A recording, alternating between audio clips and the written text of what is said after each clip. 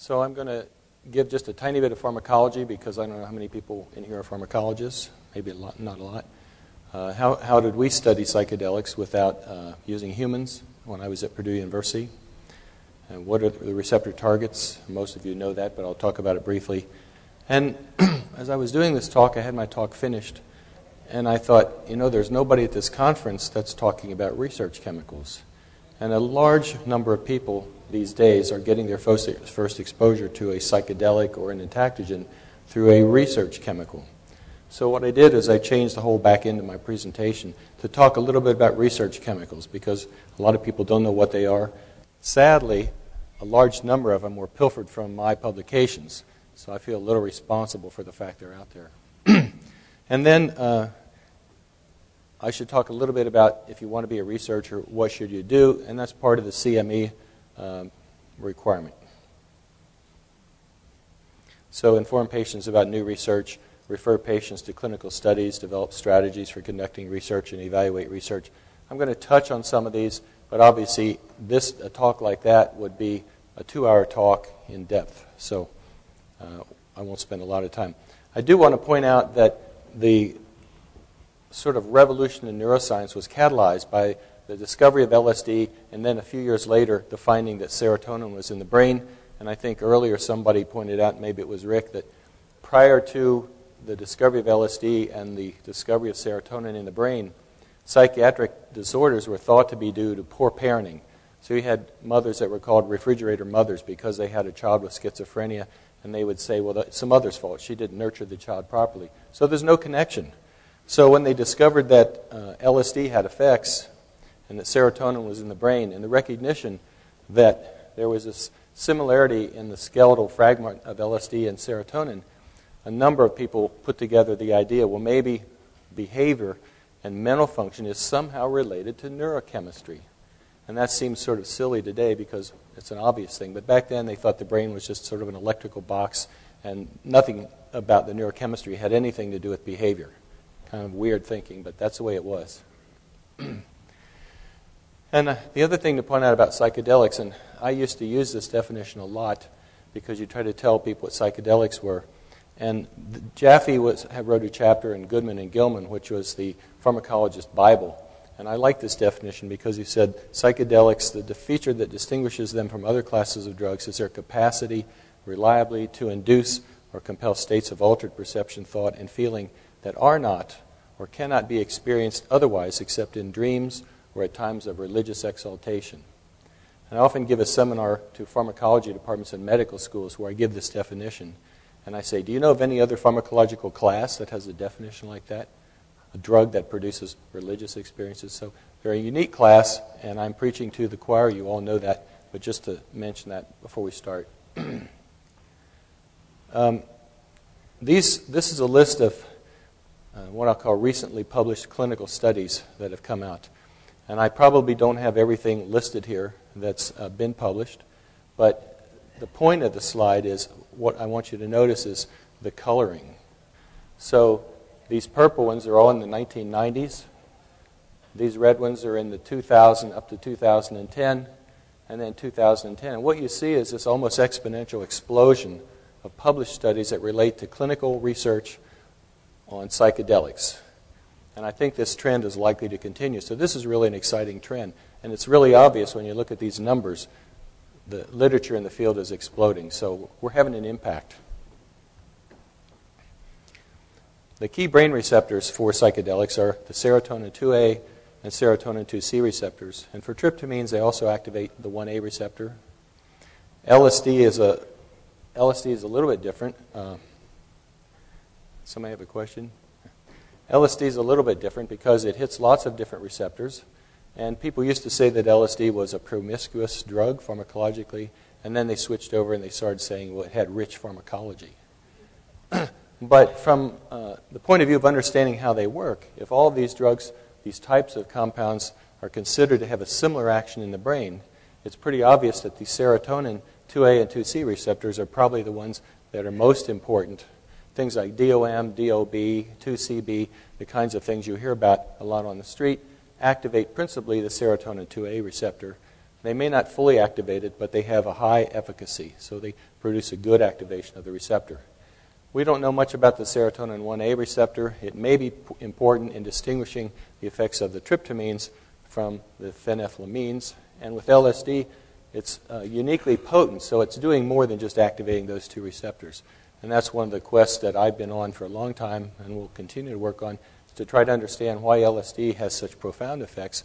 When, if you look at its receptor effects at the 2A or 2C or even the 1A receptors, there's no evidence that it should be as potent in humans as it actually is. So it, it has unique pharmacology. so, what happens inside the brain cell when we activate these receptors?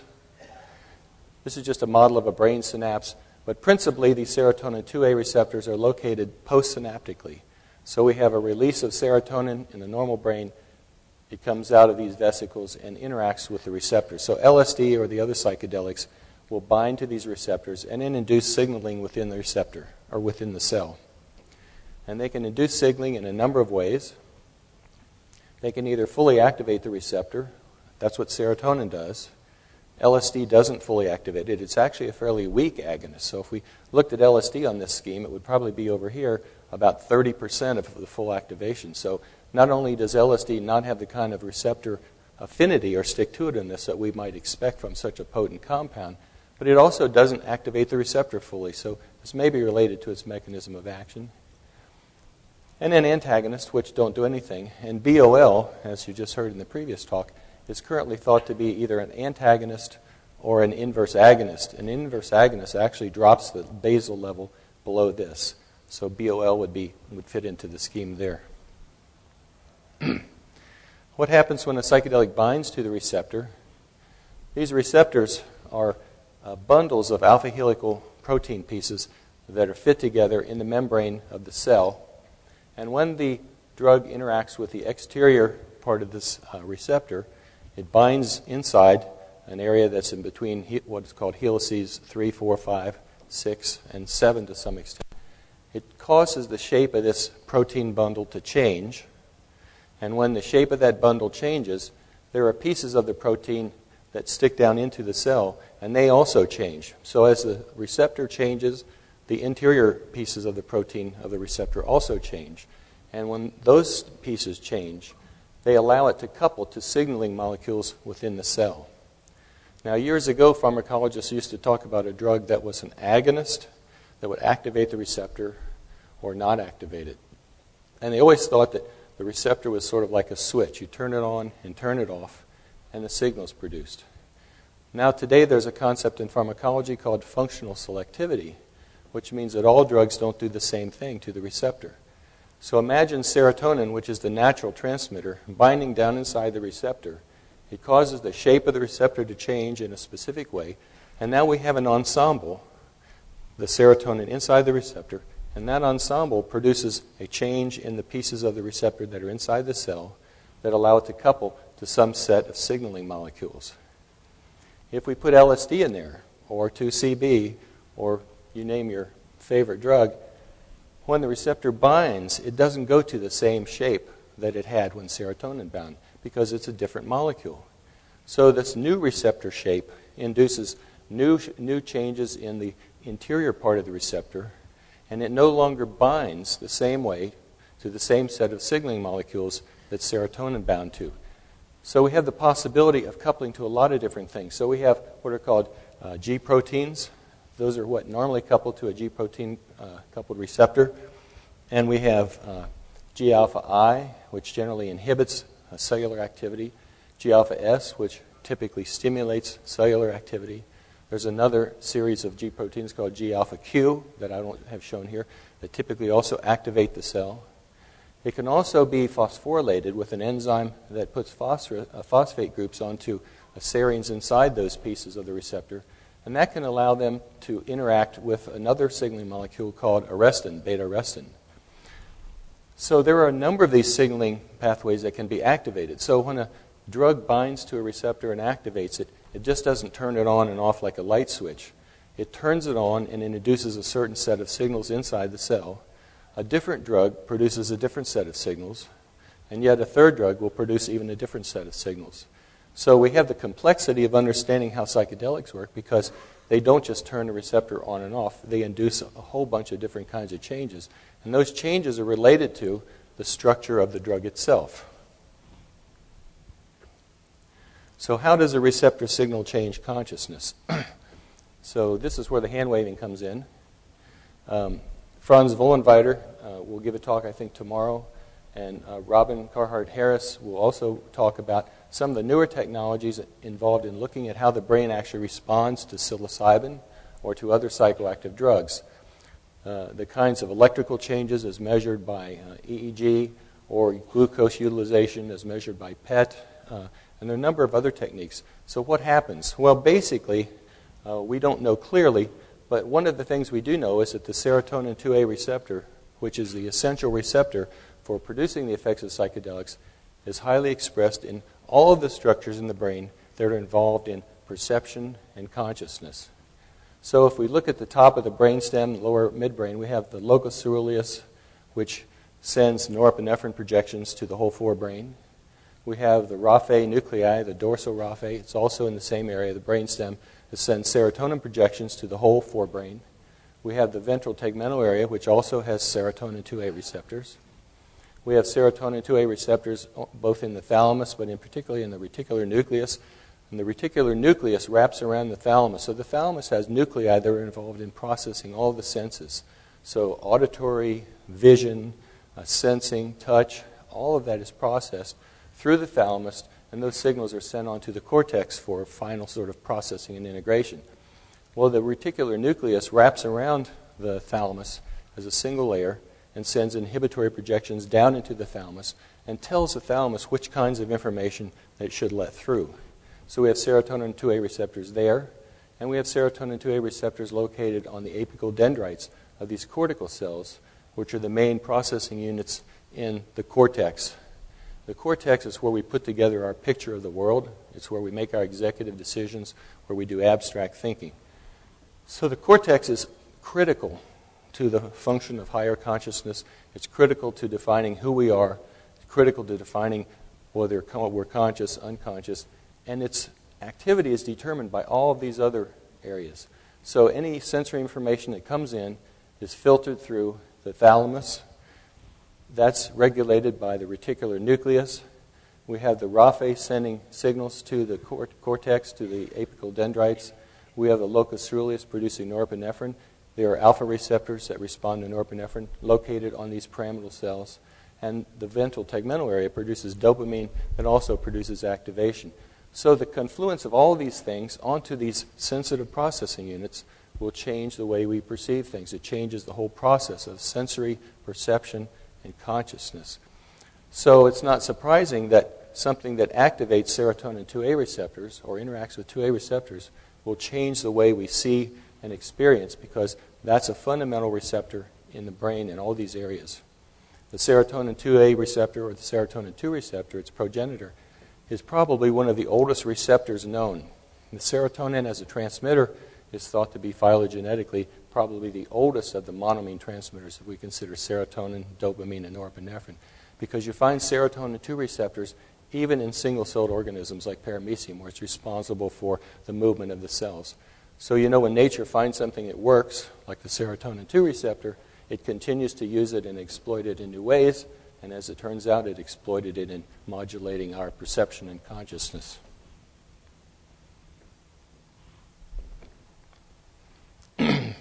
One of the problems I had at Purdue University, working in a pharmacy school in the Midwest, um, I had lots of students who would come and volunteer to be a subject in my experiments, and I would say, Well, I can't really do that. I can't even talk about anything I may or may not have done. I plead the Fifth Amendment. So, how did we actually do our studies? We spent a lot of time looking at animal models, trying to find something that would parallel the activity in animals that we saw in humans. no animal can model what happens in humans, though. There's no animal model that can tell you, you know, I had a mystical experience or I, you know, I remembered my childhood or anything like that. It's a real problem. And it turns out in pharmacology, the whole subject of pharmacology is the study of the action of drugs. And if you want to understand how a system in the body works, you apply a drug that modifies that system. So, for example, we know there are beta 1 adrenergic receptors in the heart. So, if we want to know what beta 1 receptors are doing there, we can give the organism a drug that stimulates beta 1 receptors. And if we do that, we find out that beta 1 receptors can control heart rate. Give a, give a beta 1 agonist to a human, their heart will start beating faster. Um, in the fight or flight response, if you hear a noise at night, you're walking down a dark street, and you hear somebody say, Hey, hippie, what are you doing down here? What happens? Your heart starts beating.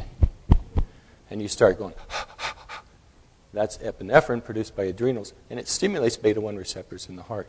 So, similarly, we can argue to study consciousness, we can use agents that perturb consciousness. So, psychedelics, they're the best drugs to look at consciousness and how we can perturb it. I like to use this slide. But I don't hear the sound that goes with it. So if you could hear this, this would be playing uh, Grace Slick singing White, the White Rabbit, right? Anyway, the ones that Mother gives you don't do anything at all, but the ones that Sasha gives you will probably have some effect. we use the technique called drug discrimination, the two lever drug discrimination.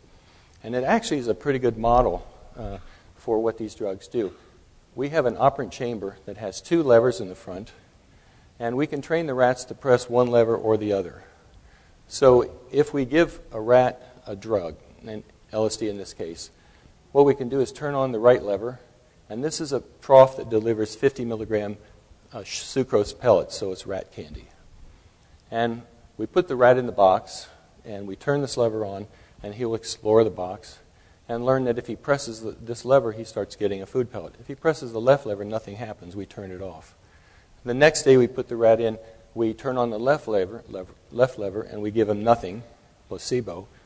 And he presses the right lever, nothing happens. He presses the left lever, he gets food pellets.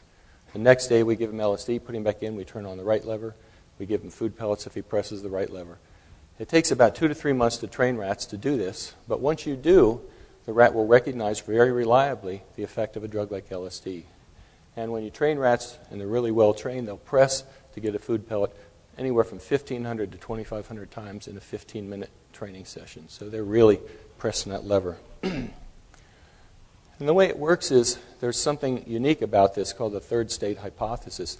If you now give the drug some other drug, or now give the rat some other drug like amphetamine or MDMA, and he's been trained with LSD, he won't respond on the LSD lever. He'll respond on the non drug lever. So they uniquely recognize the drug they were trained with. So if we give this rat a drug that we've made that we think might have activity like LSD, and we've trained him on the right lever, he presses the right, le- right, the right lever. He's telling us, I think you gave me LSD. And if he doesn't press it, or he presses the left lever, he's saying, I don't think he gave it to me. So we always tested our compounds after we started using this in about 1984 we tested our compounds with drug discrimination, and it actually is a fairly good assay. Um, this is just a correlation that I put together some years ago where we look at the relative potency uh, compared with LSD in rats and relative potency compared to LSD in humans. And the numbers aren't exact, but you see, here's EFLAT, a compound we made which is uh, somewhat more potent than LSD in humans. It's also more potent in rats about we have a relative potency of 185, which is somewhat exaggerated uh, compared to its actual potency, which is around 140 times LSD. Uh, LSD is 100, um, DOB 2.37, uh, DOI 9.26, uh, psilocin uh, 2.61, uh, MDMA 2.4.4, mescaline 0.06, 0.04. So there's a good general correlation. This assay works well but will sometimes give you false positives. So it'll tell you something is active when in fact in humans it may not be active. But it was the mainstay of all the biological work in animals that we did, and it served us well. Now I'm going to talk about um, a compound that we worked with some time ago, which some of you may have heard of called 25I-N-BOMe.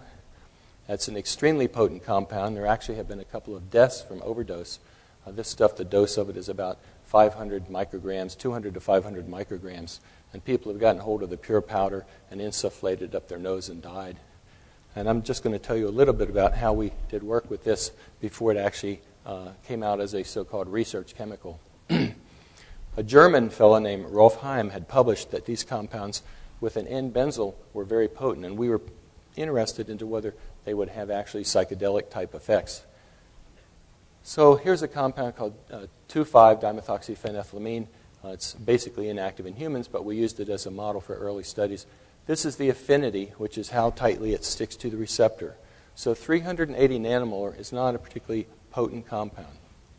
If you put an N-methyl on this compound, you see it gets even worse. It goes up to 1900. It's even less effective in binding. And an N-propyl, which is even larger, has about comparable decreased affinity. So if you put something onto the nitrogen of these phenethylamines, generally it ruins their activity. If you take DOB and put a methyl on it, almost kills the activity. 2CB, put a methyl on, almost kills the activity. By contrast, when you put an N-benzyl on, the affinity goes from 380 to 68 nanomolar. And if you put a methoxy over here, it goes down to 2.8 nanomolar. So this is really curious. You hook things onto the nitrogen, the activity goes down, way down. But if you uniquely put on a benzyl or a methoxy benzyl, it goes up. And this compound with an iodo is the 2,5-I N-BOM, and the affinity in that case is 0.04 nanomolar, so it's a super potent compound. so we did a lot of work trying to model the receptor, and our earliest work was with an activated model of rhodopsin, which we converted into a serotonin 2A receptor. And this is uh, something that just came out in March of 2013. The crystal structure of the human serotonin 2B receptor was published. Uh, this shows it with ergotamine bound, which is the way it was crystallized. And we've now converted that into a homology model. This is the serotonin 2A receptor, and this is LSD bound. So we now have a very good receptor model to go in and look at what these things actually do. so early on, uh, after doing some virtual computer docking with this N-benzyl compound, it appeared to us that the N-benzyl, which is right here, so this thing that's uh, in spheres is the N-benzyl compound. And these things that are labeled here are the residues that are in the active site, the binding site of the serotonin 2A receptor. And when we docked it in virtually, we saw that this N-benzyl group appeared to be interacting with phenylalanine 339 as a kind of edge to face interaction. So we thought, well, let's mutate all those residues and see if that assumption or that hypothesis is true. so we mutated that phenylalanine to a leucine. So phenylalanine is like a benzene ring, it's aromatic. Leucine is just a series of aliphatic carbon atoms. So you lose the aromatic character which is necessary for these rings to stack if it binds in the receptor. But it still keeps some hydrophobicity. So when we looked at the mutated receptor where that phenylalanine was mutated, now we put those compounds in, we saw the affinity drop from 380 to 4200. So about a tenfold drop in affinity, a four, about a fivefold drop in affinity, and in this case, a sixfold drop in affinity. So that didn't tell us anything, but when we looked at the N-benzyl, you see when we did the same mutation, we got a 40-fold loss in affinity and a, fifth, a 500-fold loss in affinity with the methoxyphenyl. So this was strong evidence that that residue, phenylalanine 339, was interacting with the N-benzyl group. Uh, we, with our new model now, we're trying to dock these compounds in and get a better idea of exactly how they're fitting into the receptor. One of the other things we did, though, was to try to discover what shape that molecule might have when it bound to the serotonin 2A receptor. So we made a whole series of compounds. So here's a compound called 2CB. Its affinity is six, about 6 nanomolar in this series of experiments. And here's the N-methoxybenzyl 2CB, about 0.2 nanomolar. So you can see the increase in potency, 6 down to 0.2. So we used this as a model because the bromine atom was easier to get on than the iodine. So we made most of our compounds with bromine. And I had a fairly large group of students, so I assigned each student one of these molecules. I said, let's make all the possible combinations of that 2CB with the N-benzyl group attached. So in each one of these, although it's not immediately obvious, they all have the equivalent of an N-benzyl. So here's the 2CB nitrogen, and here's the N-benzyl. Here's the 2CB nitrogen with the N-benzyl. Here's the 2CB nitrogen, and the N-benzyl is over here. Here's the N-benzyl down here. This one is a little harder to see. 2CB is here. Here's the N-benzyl. 2CB is here with the N-benzyl. And then this one substituted. This is a cis, so these are on the same side of the ring and this is trans they're on the opposite side of the ring. And the affinities here for this compound were 2.6 nanomolar. We actually crystallized this into its stereoisomers. This is a pure stereoisomer, and this is the one that's most active. So although we don't strike the 0.2 nanomolar affinity, if you look at these 70, 2000, 160, 170, 300, 800, 800, 2.8, we're pretty sure that that represents the shape that these N-benzyl compounds maintain when they bind to the receptor. So we're doing docking studies now to see how that fits into the receptor to get a better understanding of how this superpotent compound can activate the receptor. so what I did when I changed my talk was to cut out the back end and talk about research chemicals. And I don't think anybody here at this conference is talking about research chemicals, so I thought this is a topic that we should really spend some time on because a lot of people are taking these. They don't know what they are, don't know where they came from. And many young people, their first experience with a psychedelic type compound is one of these research chemicals.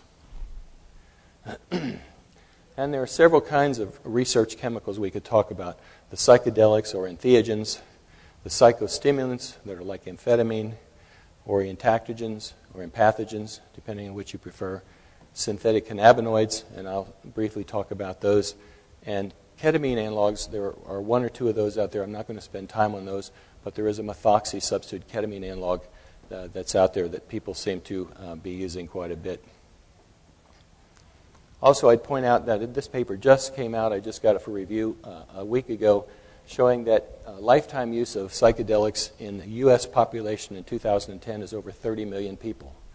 And that includes uh, LSD, psilocybin, mescaline, and a lot of other things that uh, were not classified. So there's a large number of people that are using these. So psychedelics or hallucinogens, we know they're characterized by changes in perception, thought, feeling, distortion of visual space, feelings of portentousness, something important is about to happen, uh, high doses can elicit anxiety or psychotic behavior, uh, and generally they have low toxicity and non addictive. Now, the peculiar thing about the 25I N-BOM compounds and some of the newer ones is they have killed people. There are no overdose deaths from LSD, mescaline, or psilocybin, but some of these newer so called research chemicals do have toxic properties that are not fully appreciated. The psychostimulants are related to amphetamine, they produce elation and euphoria, give you a lot of energy, but their chronic use or large doses can produce depression and fatigue, dependence, and uh, continued use can produce uh, acute psychosis, amphetamine psychosis. And most uh, psychostimulants have cardiovascular effects. They release norepinephrine into the circulation, and that causes blood vessel constriction. And that's a major toxic problem with some of the research chemicals. And entactogens also produce elation and euphoria, depending on the dose and their pharmacology. Uh, large doses uh, or chronic use can produce depression and fatigue, and high doses can also produce psychotic behavior. Uh, if people repeatedly use large doses over a short period of time, most of these also have cardiovascular side effects because they release norepinephrine and cause vasoconstriction. These are different from the psychostimulants, the pure amphetamine, and in the beginning, when MDMA was first brought out and there was a lot of publicity, there were drug abuse experts that said, well, MDMA is just another methamphetamine. We all know today that MDMA is not just another amphetamine or methamphetamine. And we did a number of experiments in the early days to prove that MDMA was not just another amphetamine or methamphetamine. We also proved it wasn't another psychedelic amphetamine, that it had a specific category and many of you know that I created this name entactogens to set them off as a specific class of drugs so they wouldn't be lumped into the hallucinogenic amphetamine class. They are different. I collaborated with a fellow in Germany named Wilfried Dempfel who planted electrodes in the brains of rats, gave them different drugs, and then would characterize the power spectra, so frontal cortex, hippocampus, striatum, and reticular formation, and then separated these into six frequency bins and could do pattern recognition. And clearly, here's amphetamine, LSD, and MDMA. And although there's some similarities, each one is unique. And so it was possible to show that electrically in the rat brain, they also were distinct entities, that psychostimulants were different from entactogens and also psychedelics. So most of the research chemicals target receptors or reuptake sites for monoamines. If we talk about the phenethylamine type, typically they're interacting with targets for serotonin, dopamine, or norepinephrine. And depends on the substituents on the aromatic ring what type of pharmacology that you actually get. so we have the G protein coupled receptors, and this would include the serotonin 2A receptor, what I showed you earlier, these uh, seven transmembrane helices bound together that couple to intracellular signaling. There are dopamine, uh, norepinephrine, serotonin, and cannabinoid receptors that are all members of this GPCR family. Then we have things that interact with uh, reuptake transporters. So after transmitters are released from the nerve terminal, there are specific proteins that pump the transmitter back in to conserve it and reuse it. And we have transmitter reuptake transporters for dopamine, norepinephrine, and serotonin. And things like cocaine block these transporters, so they can't transport at all. MDMA and amphetamine actually get inside their substrates for the transporter. Once they get inside, they displace the stored dopamine, serotonin, norepinephrine, and it spills out in a reverse direction through the transporter. Ketamine and some of the others interact with what's called an ionotropic receptor, a glutamate receptor, and I'm not going to spend any time on those, but that's the third type of target. So the research chemicals typically hit either this or this. The psychostimulants and the entactogens principally are interacting with the reuptake transporters, and the psychedelics and synthetic cannabinoids are principally interacting with a GPCR, G protein coupled receptor. In terms of preclinical characterization, uh, we work with a lot of these in the lab. Hallucinogens have affinity for serotonin 2A receptors, and in drug discrimination in LSD trained rats, we get generalization. So that is, the rats thought we gave them LSD if we gave them something that uh, had the characteristics of a psychedelic. Psychostimulants, you look at an animal, if you give a psychostimulant to a rat, it increases its locomotor activity. That is, it scurries around a whole lot more, its activity increases. uh, they're also self administered. Amphetamine, methamphetamine, and other psychostimulants. You can train a rat to administer a drug to itself, like an intravenous drug user uh, of methamphetamine, for example, in humans. Rats will learn that too because psychostimulants produce reward qualities. They like psychostimulants. Rats love cocaine, they love methamphetamine. You can train them to self administer it by putting a little catheter in their body, and they have a lever they can press, and they'll give themselves injections. it also, they also produce something called conditioned place preference. So if you administer a psychostimulant to an animal in one chamber, and you give it to him there for several days, and then don't give him anything, and there are two chambers, he'll prefer to be in the chamber where he got the rewarding psychostimulant and they increase extracellular brain dopamine. So the psychostimulants principally are activating dopamine pathways in the brain. Entactogens have a pharmacology that's similar to psychostimulants, and nobody's really figured out all the things that they do. One of the projects I took on back in the early 80s was to try to develop an MDMA like compound that might have legitimate origins instead of sort of coming from the street scene with the idea it could be developed into a medication. It quickly became evident that that wasn't going to be possible because MDMA does a lot of different things. And you couldn't simultaneously optimize all of those things at the same time in one molecule. But they have an effect that's similar to the psychostimulants in that they increase the release of uh, norepinephrine and dopamine, but uniquely they're much more potent in affecting serotonin. they increase serotonin uh, extracellularly, and they produce, a, if we train rats with MDMA, the entactogens will substitute in those rats.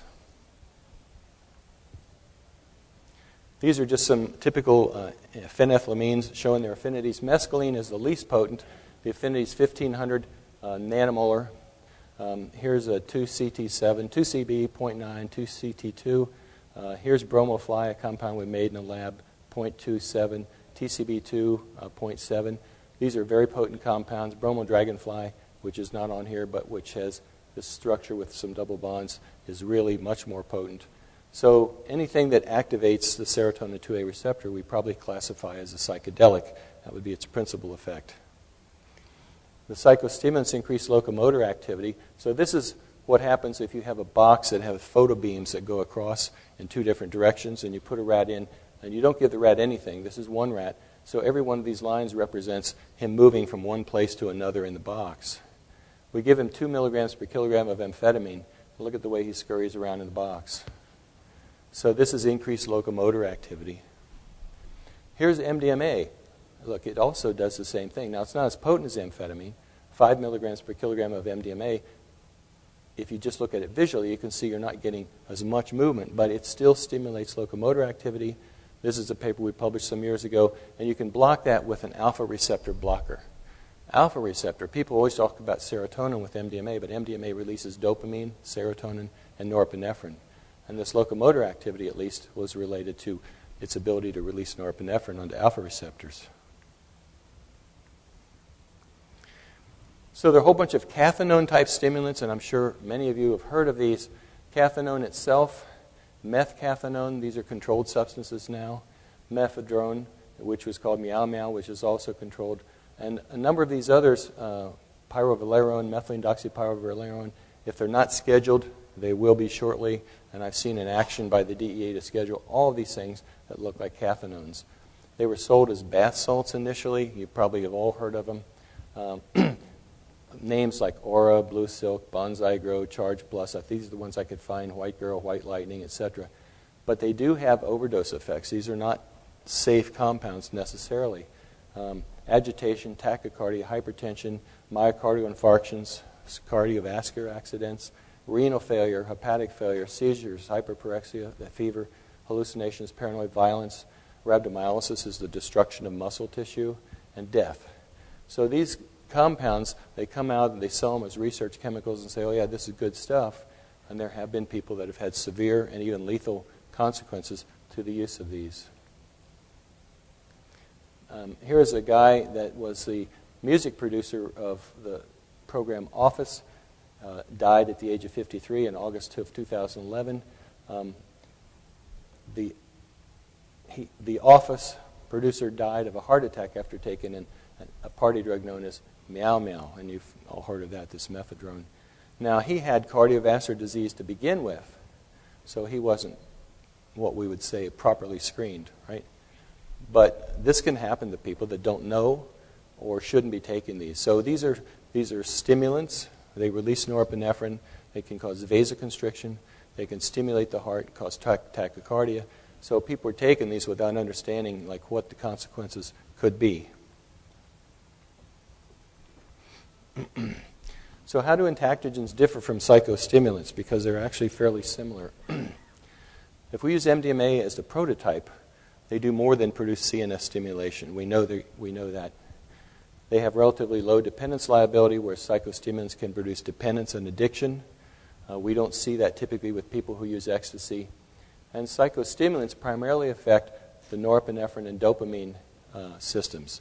Mephedrone, for example, uh, works like cocaine. It blocks the reuptake of dopamine and norepinephrine into nerve terminals, whereas entactogens have a major effect on serotonin systems.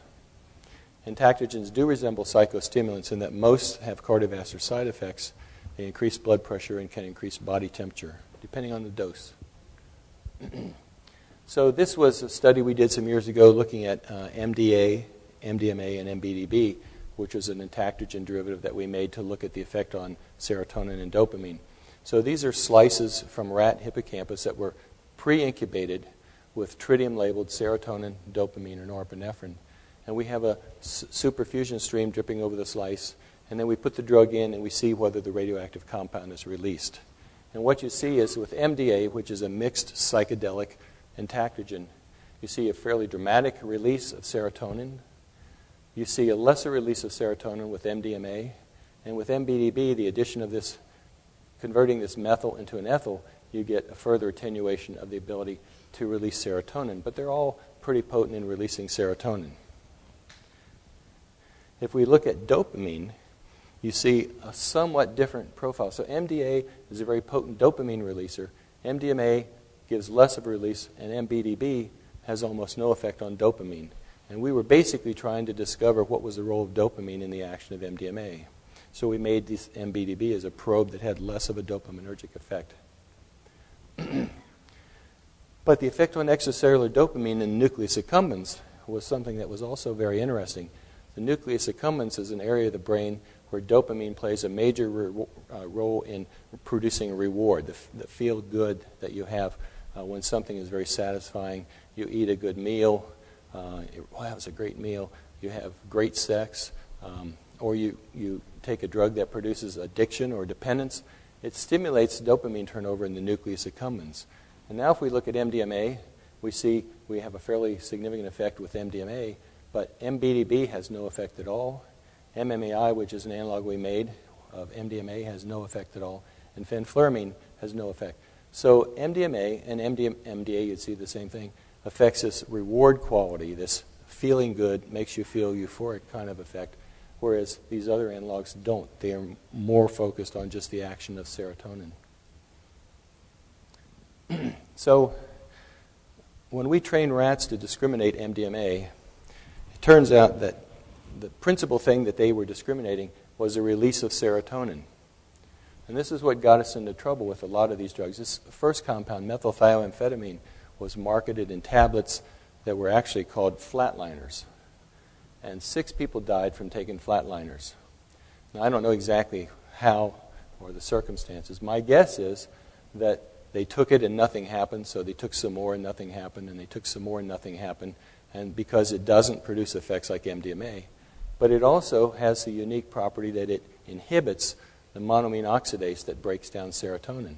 So people who took MTA kept taking it, it kept releasing serotonin, and as they took more, it blocked the enzyme that broke down serotonin, and they had what's called a serotonin syndrome. Uh, confusion, delirium, a high body temperature, um, rhabdomyolysis, hyperthermia, and so they died. Why did that material get taken? Because we had MDMA trained rats trying to understand what the rats were perceiving, and this was the most potent compound that we made in producing that discrimination in MDMA trained rats. So these are sorted by potency in terms of their ability, uh, IC50 inhibitor of synaptosomal uptake. They're sorted by the ability to block the reuptake of serotonin. So we have MTA, parodoamphetamine, some MDA analogs, MMA, MMAI, MDA, MDMA, MDA, MBDB, and amphetamine. And you can see amphetamine is very weak in uh, affecting serotonin but some of these others are very potent. So we publish these papers and say the rats, it's substituted for this compound in MDMA trained rats. The people who are reading this literature didn't realize, well, it's not just serotonin, it's something else. So this must be a good compound. Nichols made a good compound, so they put it out and have people try it.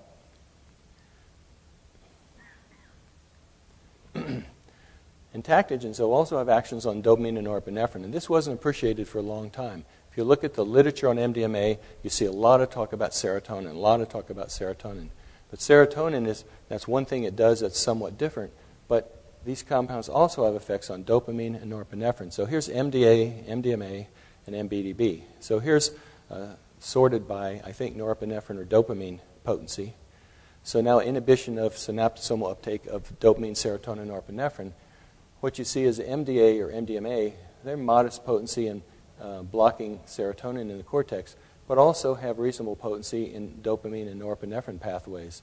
MBDB, which has very little dopaminergic effect, you see it jumps all the way up to 8,000. MBDB never caught on as an illicit drug. It never caught on in the street market. You hear people talk about MBDB once in a while and they go, I haven't heard about that for a long time. That's because it doesn't affect dopamine systems. It doesn't make people feel good.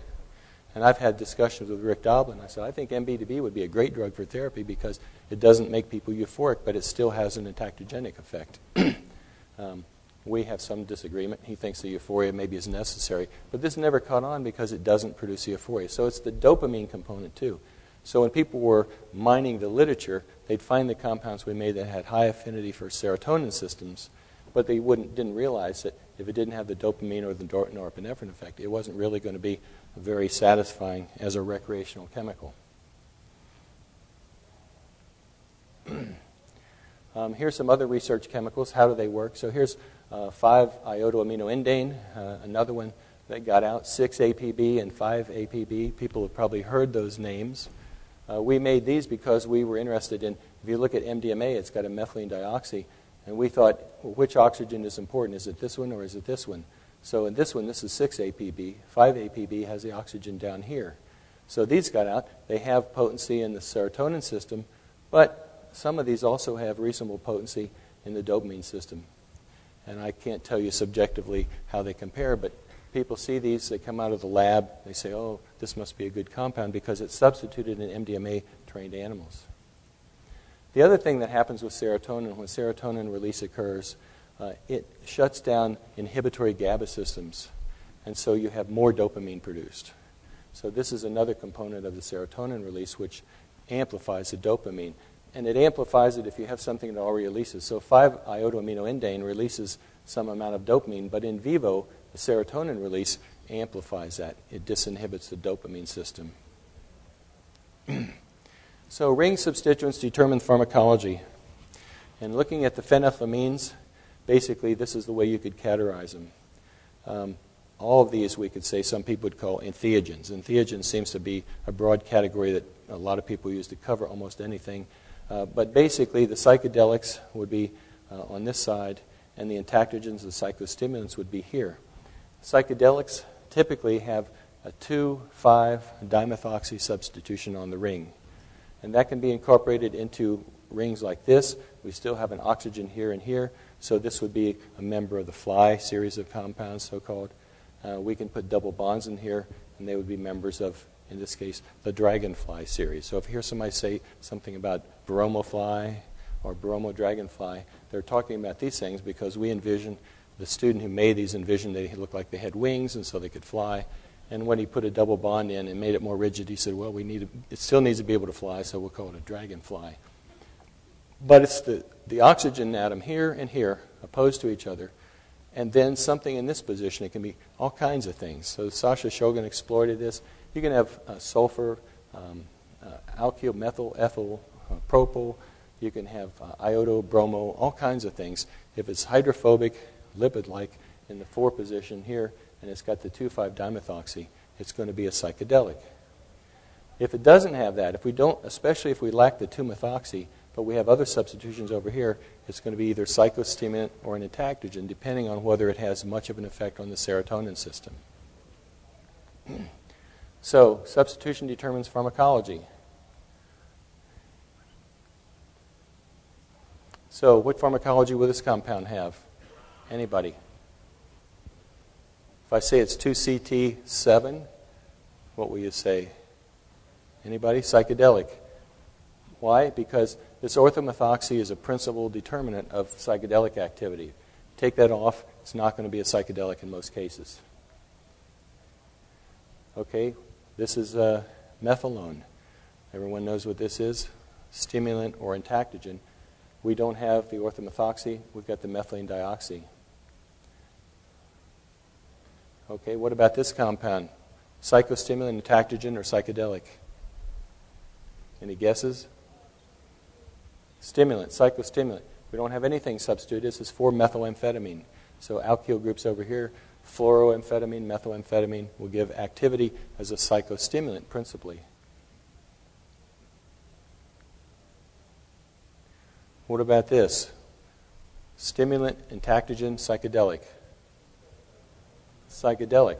Even though this is part of a ring, we still have the oxygen. That oxygen serves as an acceptor of a hydrogen bond in the receptor. So we know that. So we've still got the 2,5-dimethoxy, and in this case we have an ethyl. If you took this off and it was just a methoxy, that compound would be known as 2CE. Many of you have heard of 2CE. So there's a rhyme behind all this pharmacological classification. There's a, there's a method for understanding it. I briefly want to comment on synthetic cannabinoids. Uh, I haven't done any work on synthetic cannabinoids, but there are a lot of them out there, and they're being scheduled as quickly as the DEA can identify them. so here's tetrahyd delta 9 tetrahydrocannabinol, a natural compound, safe compound, no overdose deaths, benign, despite being Schedule 1. So these compounds were early on made as synthetic cannabinoid ligands in studies of the cannabinoid receptor. The cannabinoid 1, the CB1 receptor, is the most widely expressed G protein coupled receptor in the human brain. It's a lot of receptors in there. So these all have high affinity and they're synthetic. now, are they safe? So now we have synthetic cannabinoids that have come out. These are the uh, JWH compounds, spice smoking mixtures, if you've heard of those, K smoking mixtures. These compounds don't look like THC so much, but they have the same effect. The problem is some of these compounds are toxic, and they're just finding out about because they've never been tested. There's no toxicity. So these things sometimes are hundreds of times more potent than tetrahydrocannabinol, So somebody mines the literature, they make a gram of the stuff, which is maybe enough to make 10 kilos of some kind of a grass that they put it on, and they sell it as a synthetic uh, the marijuana smoking. mixture. people smoke it. Oh, this is cool. Marijuana is safe, so this must be safe too. Well, that's not true. And I had a graduate student that that said something that was axiomatic that I'll reproduce for you here. Make one drug illegal, and a more dangerous one will take its place. If marijuana had never been made illegal, probably these things would not have appeared. People are looking for something to get high. Marijuana is illegal. Well, these are legal. Well, they're not legal for very long, but they're legal, so they smoke them, not knowing what the long term health consequences could be. so, I'm going to finish up with this slide. One of these should make you feel better. Be sure to let me know which one it is. Um, I went through that fairly quickly, but I wanted to talk about research chemicals because the big problem with research chemicals is we don't know anything about them. You take them, you're doing an experiment on your own body, and uh, you don't know what will happen. The 25I N-BOME compound, an attorney called me from North Dakota months ago about this young kid, 19 years old, had given some of the pure material to two of his friends. They overdosed and died. Um, he's in prison now. So these things, if you have access to these, you hear people talk about them, please be very careful and circumspect because nobody knows anything about these. Some of them may ultimately turn out to be very dangerous, and with the best of intentions, you may be injured or one of your friends may be injured. So I just bring that caution out. So, you want to be a researcher? Begin with a research protocol in which the rationale for using a hallucinogen is clearly described in detail. My son's an associate professor of pharmacology at LSU in the medical school, and when he started there, he wanted to work on hallucinogens, and he wrote a grant and sent it to me to look at, and had all this stuff about understanding the mechanism of action of LSD. I said, Chuck, nobody in the National Institute of Drug Abuse gives a shit about LSD and the mechanism of LSD. You need to rewrite it, take that out. If you want to use it as a tool somehow, fine. So if you want to get, do research in this field, you have to find a compelling reason to do it treating dying people, treating PTSD. But you have to find a good reason to do it because it's a long uphill battle to get to the point where you can actually use these. Second point, you've got to get lots of background information. So you can't just say, well, I think this will work. You have to document the literature. Is there a reasonable basis for that to work?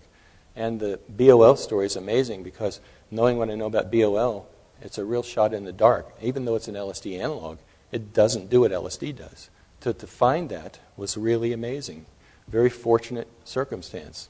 It's not real. It is an LSD analog, but it doesn't have an LSD-like effect. So make sure you've got a good background, unless you're really lucky. Why are you interested in doing that? Are you a, a masochist? Um, what do you hope to learn? Well, the Hefter Institute, our mission is to try to improve the human condition. But you may have to have something that's more immediate than that, treating some illness and disorder, at least the medical model that I would say we use. So, what are you, why are you doing it? Why are you going to start out in this road? Because the quickest way to kill an academic career is to do research in psychedelics, unless you really know what you're doing. Consideration of risks and benefits, the FDA is going to make sure that that's pretty clear, that you're not going to do anything that potentially could harm someone. Above all, do no harm. That's sort of the motto at FDA. Uh, is there a medical indication or an unmet medical need? You saw cluster headaches, uh, distress and anxiety in dying people, PTSD, alcoholism, substance abuse. There are compelling reasons to study these. You need to create a protocol that describes why it's compelling, why you're uniquely qualified to do it, why you have the facilities to do it, and so forth. Is there a scientific precedent for what you wish to do? When the Hefter started using uh, psilocybin in studies, we knew that LSD had been used very successfully to treat terminal patients years ago. Eric Kast had first shown that. So we had a reasonable belief that a psychedelic would work, although we didn't know if psilocybin would work, but we knew LSD had worked. So there was a scientific precedent. We thought we knew that this might work. And that would have to be part of the protocol before you get it approved. You would have to say, well, is there a precedent? Uh, approval of the protocol by the local institutional review board and that's easiest in an academic institution. If you want to create a private IRB yourself, and MAPS has had to do that, I think, in some occasions, it's more difficult. I was on the Institutional Review Board at Purdue University. It has not only uh, academic people, but outside people. We had a priest, we had a woman who was a local realtor, we had a couple other people that were advocates for prisoners and so forth. So they look at it and say, should this be done? Is this ethical to do this? Do the subjects have proper safeguards? Is anybody going to be hurt? Can you keep the records confidential because nobody can, their names can't be revealed? So you have to get IRB approval. That can take some time. Uh, when Charlie Grob did the first study, it was quite a hassle. When Rick Strassman did his DMT study, he really took some effort to get the IRB approval because back then they thought, oh, you're going to give psychedelics to humans. That sounds pretty dangerous. It's a little easier now, but you still have to get approval. And if you would decide to do that and could do it, you could certainly contact either MAPS or Hefter, and, and we could give you ideas of uh, sample protocols and so forth. Uh, you have to maintain subject confidentiality in any research study with psychedelics or anything. And also a license to use a Schedule 1 substance. Uh, even if you have less than one human dose of a scheduled substance, you still have to meet the same regulations that someone would meet if they had 100 grams. The same regulations. And Steve Ross told me they're doing uh, treatment of terminal patients at uh, New York University. They have, I don't know, a gram of psilocybin. It's not a lot. And the DEA guy came in. They had to buy a 10,000 pound safe. And every day, two people have to take it out, weigh the psilocybin, both of them witness that the same amount is in there that was in there the day before and that nobody's pilfered it. So the DEA, the regulations, uh, can really be impo- impo- imposing. And uh, they're not in any hurry to grant you a license. So you may have your facilities improved, you may have the 10,000 pound safe, you may have everything under proper security, and you're qualified, and you've got approval to do your study, and then DEA will take their time. Six months, a year, year and a half. My son was just trying to get a license, and he called and said, I don't understand why I don't have my license. Oh, we lost your paperwork. Well, we, we can't find the paperwork from when we inspected your facility. Well, he had to call, and they told him that. Well, they came back out and re-inspected. It was another couple months. So you've got to get a license, state license, and a federal license. Protocol has to be approved by FDA, and again, their, motiv- their, their motivation is above all do no harm. So they'll look at it. If you've got an IRB approval, the FDA is going to look more at drug development issues, but uh, they want to make sure that everything you do is safe. And then obtain pure drug or GMP certified drug. Um, I made the MDMA that Rick Doblin used, that MAPS used for years. I had a kilo and a half in my safe because I made a whole lot. Um, that's all been transferred to him. But without the MDMA, where do those studies go? Rick Strassman, if you read his uh, paper from uh, back in 1991, I think, when he talks about what he went through, the hurdles he went through to do the DMT procedure, he got to the end and nobody would make it. Everybody called said, "Well, we either won't do it or we want thirty or forty thousand dollars." So I made his DMT for three hundred dollars. Um, psilocybin, when Albert Hofmann first made psilocybin, he used a reagent that could detonate spontaneously. So when I started working on the synthesis of psilocybin because I wanted to make it more available for Hefter researchers, my technician said, You know that reagent he's using, that phosphochloride? That can detonate spontaneously. I'm not going to work with that. So we spent two years finding a reagent to put the phosphate groups on. Fortunately, Albert didn't blow himself up. But um, so we were able to make it. But you may know uh, David Nutt has a protocol now approved in the UK and has a 500,000 pound grant to study psilocybin in depression. But in Europe, they demand that even experimental studies, you must have GMP certified material. A GMP lab has got all kinds of certifications. Their, their balances have to be recalibrated. Uh, they have to have a certain airflow. People have to wear hair nets. There's a whole bunch of regulations where you have to track things. You don't really need to do that on a small scale study. Drug companies do that routinely. They make it in house, it's all approved, they contract it out. But for a small investigator who needs a gram of material or two grams of material, it's absolutely out of the question to go that route. And so I know David Nutt and his group got an estimate to make some GMP psilocybin uh, recently, and they wanted 100,000 English pounds to make a gram. That's just outrageous. Uh, in this country, you can get a gram for $12,000. You can actually make a gram for about $1,000 without the paperwork. So basically, that's a, the other problem. So obtaining pure drug. Maybe that situation will be improved in the future, but that's something to consider. And just to plug my own institute, the Hefter Institute, um, been around since 1993. You go to our website, you can see the things we've done. We've got, I think, 50 some publications. We've got the clinical center that Franz Vollenweider directs in Zurich, And over the years, we've uh, spent $3.4 million on the research. As a virtual institute, most of our money goes to research. We don't really have any overhead. So uh, we've gotten quite a lot done. And I think that's the last slide. I had lots of graduate students over the years, postdoctoral fellows. The National Institute on Drug Abuse funded my research for 28 years, and I got a one year extension. So they were interested in how they worked, but not how they could be good things. But I have to thank them for funding me because without their work, I wouldn't have been able to do anything. So thank you very much.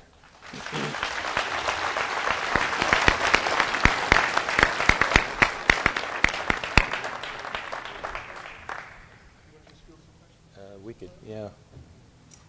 You got a question or two? Yeah. What's your pharmacologic hypothesis to account for the dramatic differences in subjective effects between various psychedelic compounds? Using as two examples tryptamine, which seems to selectively down modulate pitch perception without having a whole lot of cognitive or visual perceptual effects, and then 2CT7, which seems to have profound uh, visual perceptual distortion effects but without affecting uh, cognition as much as well. It, it's a it's a complex, um, that's a very complex question with a very complex answer. First of all, I've talked about the 5-HT2A receptor as being the principal target. I would say it's necessary, but not necessarily sufficient. Um, Tom Ray published a paper in 2010 where he showed that for some of these compounds, they hit 10 or 12 different receptors where the affinity was still significant. So you've got, first of all, the plethora of receptors that could be what we call off target. So you have that. Secondly, for each one of those receptors, you have multiple signaling pathways within those cells. We don't have any idea of what that might be. And for each of those targets, you have, they're either agonist or antagonist or partial agonist. So if you put the combinatorial stuff together, for each single drug, you have a whole bunch of factors that nobody understands. And I've told people that I think that someone who takes one drug on uh, day one and takes the same drug on day four will, can have a, a, different effect because your system has changed in those days. So I think um, it's a combination of things. We don't. The, the brain is still a black box. We really don't understand. But when you think about all the different signaling pathways, all the different receptors, and whether they're agonist, partial agonist, or antagonist, um, I think there's no straight answer. I've looked at some things and they have affinity for the serotonin 2A receptor, and they're very different. Like you say, we looked at uh, DIPT years ago, and we couldn't see anything that, that made it do that. We tried to develop actually an animal model. Uh, I had a student named Matt Parker who developed an animal model for rats that were trained to discriminate tones, and, very, and he, he characterized rat uh, auditory discrimination better than anybody ever had. He never published it. I told him he should. And then gave him DIPT to see if it would shift their perception. It doesn't work in rats, so we didn't even have a model. So we don't know. That's the short answer. You yes. said that the serotonin 2 receptors form a sensory filter on the surface of the thalamus. Is that correct, or roughly? Um, they are involved in a lot of different areas in the brain. Mm. Um, in areas that can probably, and the thalamus is, is thought to be a sort of sensory filter, if you will, with the reticular nucleus. So they do affect the processing of information all the information that goes to your cortex goes through the thalamus. Mm. And it only gets through the thalamus if the sort of reticular nucleus lets it through. So there's a filter that mm. determines how much information gets through because if everything, if all your sensory information was coming through without a filter, you would be overloaded mm. and you wouldn't be able to function. So you've got a filter. So serotonin 2A receptors are directly involved in that filtering process. So, so if LSD is a partial agonist of the serotonin 2 receptors, would it be appropriate to say that it opens those filters partially? Um, I think you know that's a too simplistic a statement yeah. um, because LSD interacts in all those different brain parts, and it's a partial agonist at serotonin 2 receptors expressed in certain cell types mm. and in certain rat neurons. But I don't know whether it's a partial agonist in the receptors that are in the brain, or in the thalamus, or in the nucleus accumbens, or mm. the locus coeruleus, because whether or not it's a partial agonist determines is determined by also where that cell is expressed and what the coupling mechanisms are on the inside. Mm. So all the pharmacology that's done typically now is done in cloned receptors expressed, say, in human embryonic kidney cells or in Chinese hamster ovary cells. And there's this big question well, when you talk about neurons, there may be completely different things. And so the way it interacts with the receptor depends on what it can couple to inside the cell. Mm. So that would be too simple of an explanation. Thank you, Dr. Nichols. Uh, first off, thank you for your time. I really enjoyed your presentation. Um, when we were looking at the cathinone molecules, I couldn't help but to wonder, uh, considering how innocuous by comparison the plant form is uh, within the culture of Yemen, I just wonder what about its structure uh, do you suggest the toxicity and the psychotic behavior that's been observed? And by extension, um, what could we say about the um, inherent risk of the piperazine derivatives like 3 methyloxy and 4 methyloxy PCP and also methoxetamine? Well, the pharmacology of most of these just isn't understood. I mean, there were studies with, for example, some of the cathinones that were done years ago where they basically all they looked at was increasing uh, locomotor activity in animals. So the other, the off-target sites besides the reuptake sites, uh, it's hard to know. I mean, there are so many things they do, and we know so little about the molecules. So all you can say about a single molecule as well, it increases motor activity, and if in humans it produces psychosis or it has some other effect, then it would require more investigation. And there just hasn't been much research on any of these. Hello.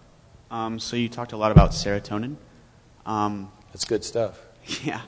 So uh, the literature says that in the enteric nervous system, um, there's actually about 90% of the body's serotonin. It was in the gut, right? So um, I'm wondering, with this in mind, if your lab has found any data, um, subtle or drastic effects that this, these drugs have on um, gut function or feeding behavior, or anything like that. You know, anecdotally, a lot of people tell me that, you know, when they take a psychedelic, they have to go to the bathroom and have a bowel movement. I don't know how common that is, but they do stimulate the gut. Um, so that would explain some of the GI things. I mean, the serotonin, if you read the MAPS bulletin, was discovered by, you know, it was initially discovered in the gut. And then they found it was stored in blood platelets, and so then they isolated it from that. But it's in the gut, it's in enterochromaffin cells in the gut. And when you eat a meal, they're activated. They release serotonin, that causes the gut to contract. So, to some extent, these uh, do that. When we first developed, when we first started working with the, I think it was the 2,5-I NBOMe compounds, we were doing drug discrimination, and we had no idea that they were so potent. And my research associate gave injections to the rats, and she says, they all got terrible diarrhea. So she gave a lower dose. So all got terrible diarrhea. And gave even a, I mean, a higher, do, a lower dose, and they gave even a lower dose. So she kept going up until she found the point at which they weren't having, you know, weren't defecating and having diarrhea. So in rats, they were very potent in stimulating GI. Hi, can you comment on an update on NN-DMT and 5-MeO-DMT binding to 5-HT2A and the sigma-1 receptors? Is it both? Is it? We we apparently have, there's multiple sigma ones now. Yeah, um, I don't think the affinity at sigma one receptors is probably high enough to be physiologically relevant. Um, Dennis McKenna published a paper years ago looking at the 2A and 1A affinity of those compounds. Nobody has gone back and done that with more modern technology, but my guess is uh, that the DMT is a 2A, 2C, 1A agonist. 5-methoxy DMT has higher affinity for the 1A receptor and of course, it's like it's a little different than DMT, 5-methoxy DMT, but I think probably the 1A receptor plays a role there. And we made a compound that had very high affinity for the 1A receptor, and a couple people ended up smoking it, and it knocked them out for like two hours. Yes. I, the, only, the only difference was we could see was that the 1A affinity was really high. I've done some, some electrophysiology, EEG, with acute DMT smoke. Um, I'm impressed by how rapidly it works and how quickly the action is terminated. Do you have any uh, comments on mechanisms for the inactivation? Or? It, it's probably inactivated by monoamine oxidase A. Hmm. Um, it's in the brain, but also in the liver, and that, of course, is how ayahuasca works. The admixture with the beta carboline alkaloids blocks the MAO in the liver, so that allows it to survive first pass. But I think the, the short duration of action of DMT and 5-methoxy DMT is related to MAO degradation. Principally. Thank you.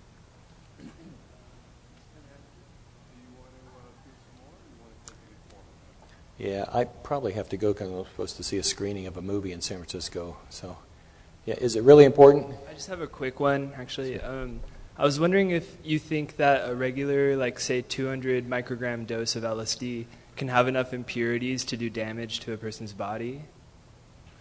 Um, if it comes on a blotter, a small blotter, no. The thing about LSD that made it unique is people would uh, talk about, tell me they bought capsules or tablets of LSD, and I said, well, you know, capsules and tablets, you don't have no idea what's in there. People say, well, I got a, a window pane or I got a little blotter. Do you think it's LSD?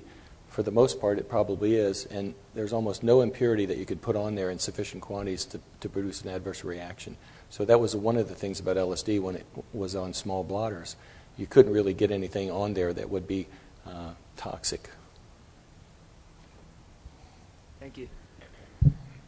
One more question that it, I lived with this for 40 years. Is LSD stable at room temperature or does it break down? And if it does break down, because I've always known to keep it refrigerated or get fresh LSD when it came out, does it break down at room temperature? Is there a shelf life for it being LSD 25 or does it Christ, by room temperature crystal, break and L- down? crystal and LSD stored in the dark at room temperature, ambient temperature for 30 years is stable.